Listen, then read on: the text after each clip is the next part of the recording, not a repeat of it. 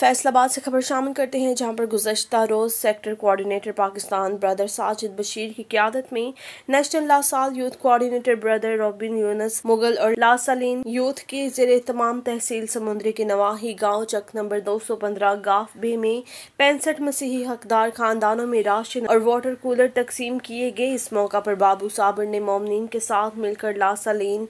youth और LaSalle community के लिए खसूसी दुआएं मांगी कि खुदावन उनकी दर्स तदरीस सो दीगर खिदमत को कबूल फरमाए इस मौका पर ब्रदर सजावल जावेद माजिद बशीर असद इमानुल शकील कोकब शहजाद सलीम एजाज भट्टी आबिद भट्टी और दीगर मोजीन के हाथों से